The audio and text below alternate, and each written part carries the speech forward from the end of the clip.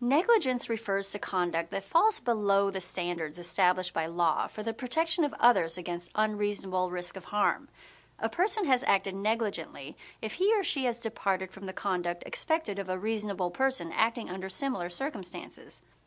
In order to establish negligence as a cause of action under the law of torts, a plaintiff must prove that the defendant had a duty to the plaintiff, the defendant breached that duty by failing to conform to the required standard of conduct, the defendant's negligent conduct was the cause of the harm to the plaintiff, and the plaintiff was, in fact, harmed or damaged. The reasonable person standard provides a standard by which the conduct of others is judged, and it distinguishes negligence from intentional torts, such as assault and battery.